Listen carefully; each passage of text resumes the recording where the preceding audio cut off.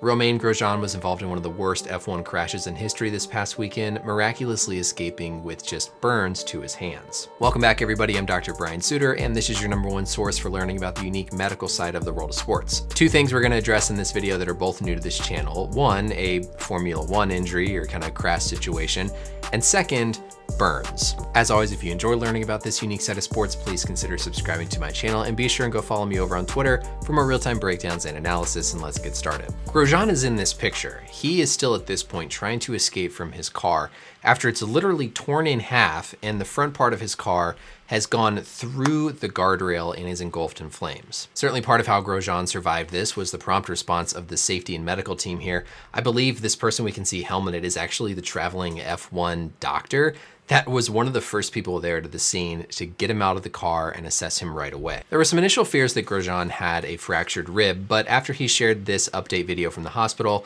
apparently the x-rays were negative, which is reassuring, and essentially he's just being treated for burns to his hands. We don't know the specifics of how bad the burns are, but let's talk about how we classify burns and kind of what basic treatment of them entails. This is a cross section of our skin, and our skin has three main layers. The top outermost layer here is the epidermis, epi meaning above or outside, of the layer below, which is the dermis contained down here in the middle. And then the bottom layer is our subcutaneous tissue. That's where we have our fat and then our muscle that's gonna be below that. The primary function of this outer epidermis is to protect the rest of the skin. It provides a barrier to infections, it helps to regulate water loss, and this is essentially where our, so to speak, skin cells are located and they basically, as they mature, they start down in the lower layer and then they progress outwards until ultimately the dead skin on top sloughs off to be replaced by new skin. The layer below that is the dermis. This is where we have a lot of our connective tissue that makes up sort of the primary structure and elasticity and biomechanical properties of our skin. This is also where our sweat glands, our different hair follicles,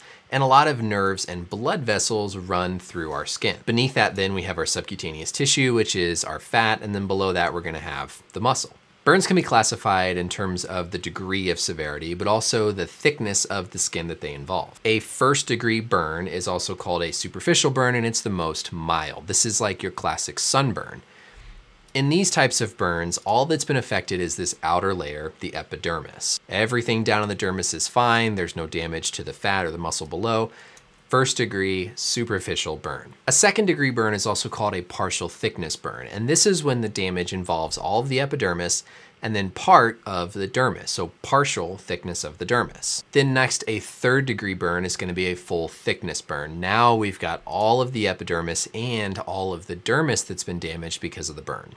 Finally, we have a fourth degree burn, which is when all of the epidermis, the dermis, and even now some of the subcutaneous tissue, like the fat, the muscle, even the bone can also be affected. And of course, this is gonna be the most severe. Another way we'll classify burn severity is the percentage of the body that it involves. The kind of classic one that we use and learn about is called the rule of nines. So we divide different regions of the body up into equivalents of 9% to give an estimate of the total surface area that's involved with a burn. It's easy to then say when someone comes in, if their arm is burned, their leg, their face, whatever, you can get a quick estimate of the overall percentage of their body that's involved. Another one is called the rule of palms, where you take somebody who has an unburned, unaffected hand and basically the palm is 1% of their whole body, so you can use that as another estimate to figure out how much of the body is affected by the burn. According to the World Health Organization, burns that involve the hands would be considered serious burns, as well as a number of different criteria that they use with the patient's history and just the severity of the burn itself. So with Grosjean here, you know, if we go off of that criteria, these would be considered serious burns per the WHO because they involve his hands, but really don't know if they were first degree, second degree, third degree, or so on. Grosjean has his hands and fingers individually wrapped here for a number of different reasons. One, one of the biggest problems and complications with burns is the risk of infection. When you have a serious burn, if you lose any damage to your lymphatic tissue that sits here in the dermis, that affects your body's ability to clear infections and get rid of bacteria. So by providing some protective dressing, you try to limit the chances of infection. The fact though that all of his fingers are circumferentially wrapped here tells me that the burns probably did involve the majority of his hands and fingers, which makes them a little more concerning. One of the big long-term complications of burns and part of what I deal with in my PM&R specialty is that you can get contractures and tightening of the skin as that scar tissue heals as the burns recover. This means you can have joint contractures and limited mobility, and so that's particularly damaging if it involves the dexterity of your hands. So it's important to establish early range of motion as best as possible to try to prevent these contractures and stiffness from happening with scar tissue deposition from the healing of the burns. So by having his fingers all individually wrapped here, it allows for more free movement of his fingers individually to try to maintain range of motion as he's healing. But beyond the initial infection risks, the fluid loss you can have with burn, other kind of acute burn complications, the biggest thing for someone like a Formula One driver is gonna be that fine motor control and dexterity of his fingers. So while Grosjean survived this horrific looking injury, he's gonna really rely on his hand therapists to really help rehab him here after the acute injury starts to heal. Nonetheless, so this is a miracle that he is talking, alert, conscious, and awake here in the hospital to give us this update.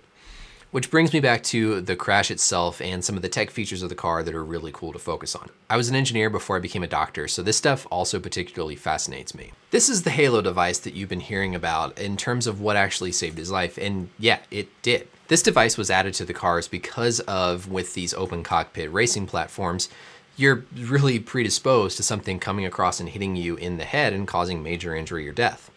So the idea of this halo device was to basically deflect any sort of debris, foreign objects, or prevent anything from coming into direct contact with the head in a crash like what happened with Grosjean. We can see in these photos here, Grosjean's car split and went through the guardrail. If he didn't have that halo device basically deflecting the metal of the guardrail right here up and over his head, this would have completely smashed into his head. I don't think there's any question that he would be dead. These things are designed to sustain impact, and while how the guardrail itself failed is a completely other question that F1 is going to investigate, yeah, this thing saved his life. Pretty awesome to see that this engineering feat was put into practice and has in fact made a difference to save a driver's life. So that's it for the video. Again, truly just a miraculous crazy sort of situation that Grosjean is so fortunate to have come out of in as good a shape as he is. Thank you as always for watching. I hope you enjoyed the video and learned something along the way. Let me know any questions or comments down below. And until next time, we'll see you later.